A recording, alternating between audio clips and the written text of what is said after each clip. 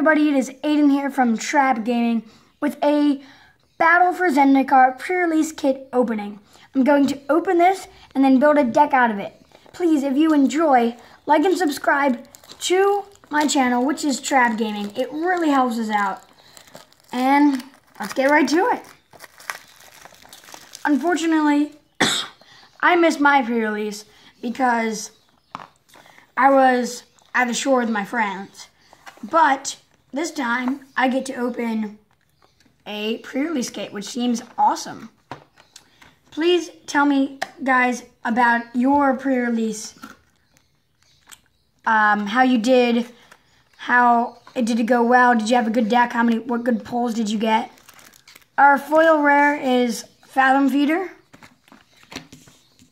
It's the two mana, a blue and a black Eldrazi. 1 1 with Devoid, Death Touch, and Ingest. And then you can pay 5 to draw a card, and each opponent exiles the top card of his or her library. So I'll put that over there with the rares. Let's get right to the first pack. Take the rares out.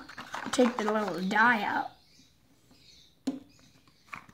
And put this part over here. Pretty sure you open it like is so confusing. Okay, there you go. First pack, I'm going to separate everything into colors. First pack, we get, what do we get? Ooh, we get Munda Ambush Leader, which is a great red-white ally card. Uh, we're going to go green, blue, black, red, green, land, colorless. Or wait, color should go over here. Black. Multicolored. Ooh, that looks that works good with this rare. And we got a foil Pilgrim's Eye. We did not get any white cards in that. Hmm. But you get a plain land. wow. Okay. Munda Ambush Leader is our rare. It's a 3 4 for 4. Two generic, a red and a white for a legendary creature Kor ally. with haste and rally whenever Munda, Ambush Leader, or another ally enters the battlefield under your control. You may look at the top four cards of your library. If you do reveal any number of those ally cards from among them, then put those cards on top of your library in any order and the rest on the bottom. And then we got an Eldrazi Scion and a Plains. Next pack. So there's six booster packs in this. So, we got that. That. That. That. Well, now we get a white card. More white cards. Gideon's Reproach is so good.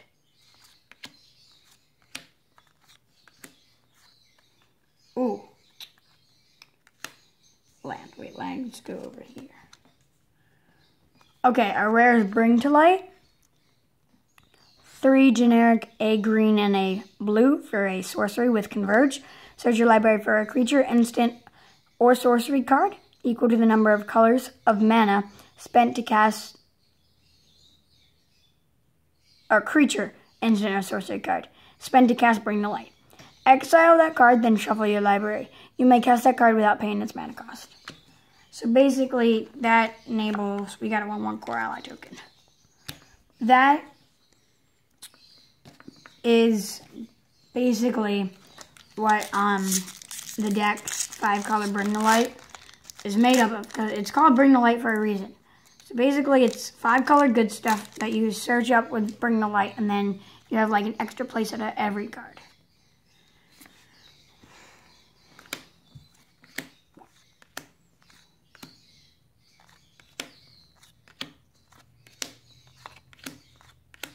Red looks pretty good especially with this red white allies may be really good with this. Um, oh my god. Well we got an Ob Nixilis so three generic two black for a planeswalker Nixilis I don't know why they didn't say Ob. Uh, with five loyalty to start off with his plus one is you draw a card and lose a life. It's negative three. is destroy target creature. And it's negative 8. Target opponent gets an emblem with whenever a player draws a card, you lose 2 life. So, wow. That's amazing. And we got an insert. We might even have to go Mardu allies just because of Ob Nixilis. So good. So good.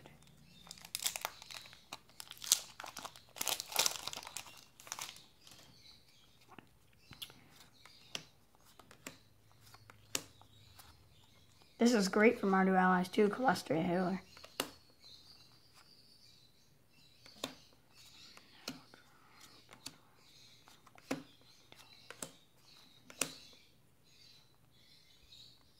This is also great, Zulaport Cutthroat. And Carrier Thrall's not that bad. Our rare is the land Prairie Stream. The new dual land, the blue-white one. Not really good and limited. Because unless you're playing blue-white, which I doubt we will.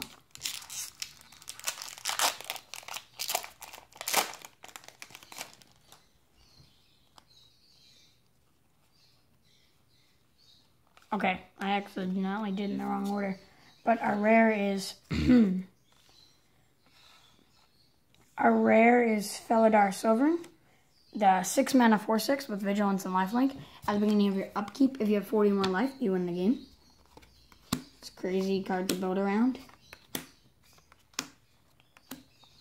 Looks like we have a pretty good kind of ally build.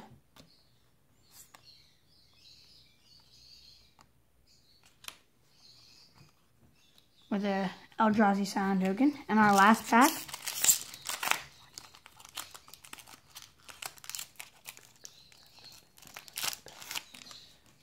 Like every other card. Boom. We're getting a lot of red and white cards. Also, let's get complete disregard.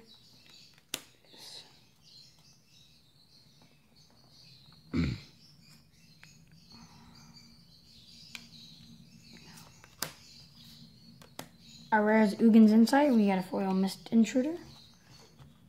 Ugin's Insight is a 5 mana sorcery. Scry X, where X is the highest converted mana cost among permanents you control. then draw three cards. Okay, now out of the cards we got, I'm gonna going to try to build a deck out of the cards that we got. I think it's safe to go um, Mardu allies. So, just gonna move these cards to the side. Anything that's not in the colors that we need. Just because I think we have the best chance of getting a good deck with Mardu allies. I think these are actually pretty good lands. That is out. And then this is out. Wait, no, no. Oh yeah, my bad. I can use this one too. So, so we're definitely going to use these. That's for sure. You got some great cards for Mardu Ally deck. I would run this, this, and this in a standard Mardu Ally deck. Complete Disregard is good. Um, Zulaport Cutthroat and Kalastria Healer is good.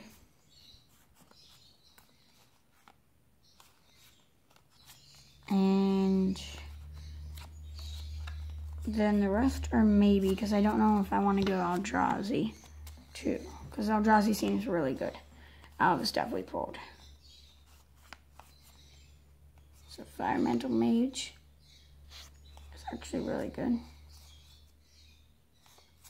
Reckless Cohort. I saw we got a lot of them.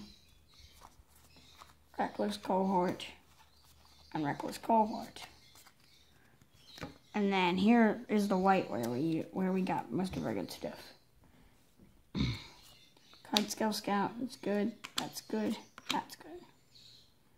This is really good. It's also good. This is okay.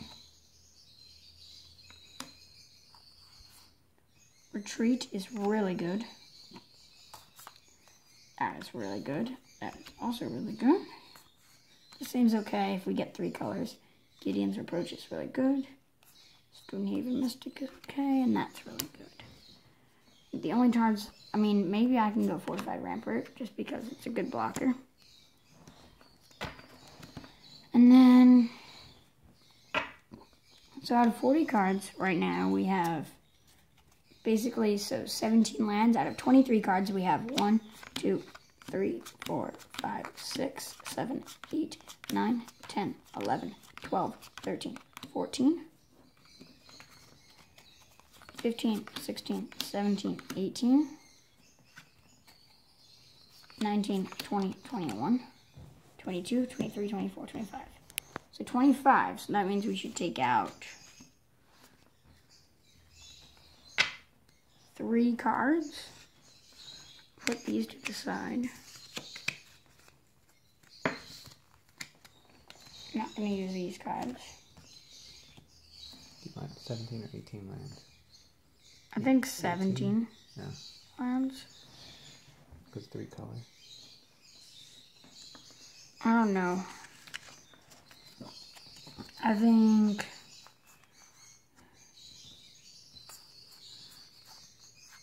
Unified front is okay.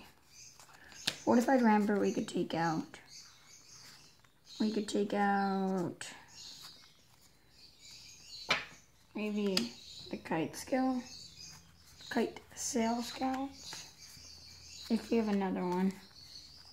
I'll keep in the fortified rampart.